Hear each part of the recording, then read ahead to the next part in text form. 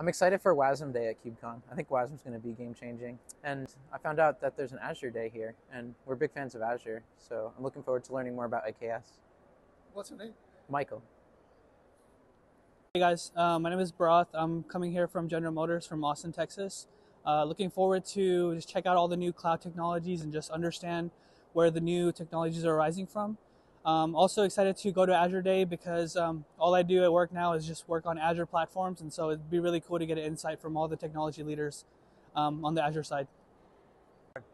Okay, so I'm here at KubeCon. This is my first ever conference, and I just got the badge. And there are a lot, there are a lot of events that are about to happen here, and a lot of crowd is about here.